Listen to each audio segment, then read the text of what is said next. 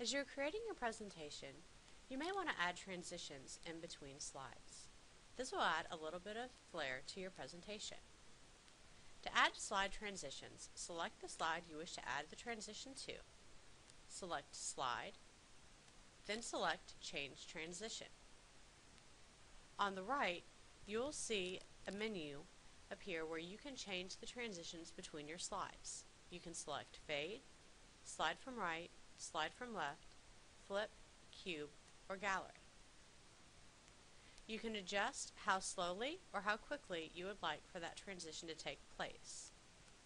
You also have the option to apply that transition to between all slides. In addition, you can change the slide transition by right-clicking and selecting Change Transition.